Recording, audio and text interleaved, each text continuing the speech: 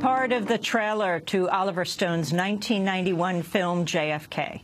When Kennedy was killed, the official narrative was immediately questioned. Nearly five decades later, a new poll has found a clear majority of Americans still suspect there was a conspiracy behind the assassination. However, according to the Associated Press GFK poll, the percentage of those who believe accused shooter Lee Harvey Oswald acted alone is at its highest level since the mid-60s. The survey conducted in mid-April said 59 percent of Americans think multiple people were involved in a conspiracy to kill the president, while 24 percent think Oswald acted alone. 16 percent are still unsure. Uh, a 2003 Gallup poll found 75 percent of Americans felt there was a conspiracy. We're joined for the hour by three-time Academy Award-winning director, producer, screenwriter Oliver Stone. A Vietnam War veteran, he's made around two dozen acclaimed Hollywood films, including Platoon, Wall Street, Salvador, Born on the 4th of July, JFK, Nixon, W, South of the Border, and Wall Street. Money Never Sleeps. A commemorative edition of JFK comes out on Blu-ray next week as the 50th anniversary of his assassination approaches on November 22nd. Most recently, Stone has co-written a multi-part Showtime series called Oliver Stone's Untold History of the United States which is also available on Blu-ray and includes a companion book with the same name. We're also joined by Peter Kuznick, a professor of history and director of the Nuclear Studies Institute at American University, co-author of The Untold History of the United States. We welcome you both to Democracy Now! Um, Oliver Stone, let's begin with you as we move into this 50th anniversary of the Kennedy assassination. Your thoughts? Thank you, Amy, for having me back. It's nice to see you again. Hello, Peter. Uh, my thoughts. Uh, I saw them film uh, in inside these last few days, and I've been able uh, to assess it again. And I followed the cases more or less from the outside. I haven't been inside. It's amazing to me that people still deny it. Uh, as you know, I was in the infantry in, in Vietnam. I had a fair amount of combat experience. I saw people blown away in action. When you look, once again, at the basics of the film, the bullets, the autopsy, the forensics, the shooting path, and stay away from all the other stuff, Oswald's background, at Garrison, etc. Just follow the meat, the evidence, what you see with your own eyes in those six seconds. It's an amazing, uh, it's all there. It doesn't need to be elaborated upon. You can see it with your own eyes. You see Kennedy make his, get a hit in the, in the throat, then you see Kennedy get a hit in the back, then you see him essentially get a hit from the front. When he gets the hit from the front, which is the fourth or the fifth or the sixth shot, he goes back into the left.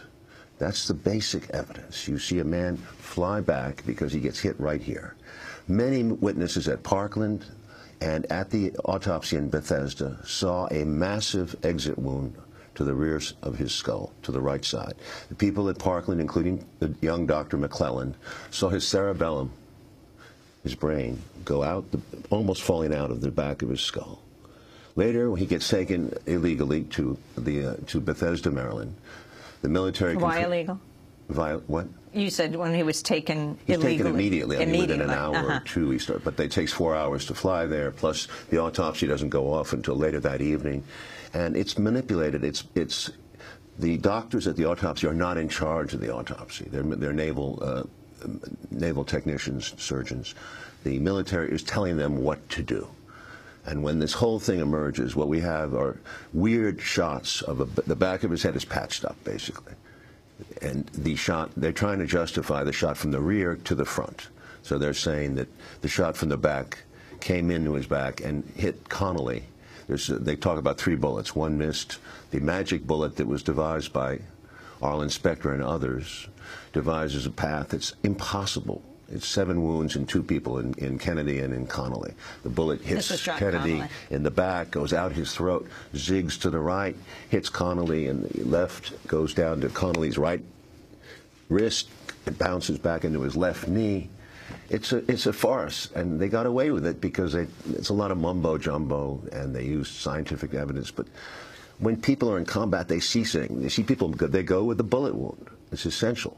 And uh, this this was an, th th Kennedy. It was shot right before Connally in the back. Connally gets shot, Governor and Kennedy gets the, the headshot. So there's at least five shots here.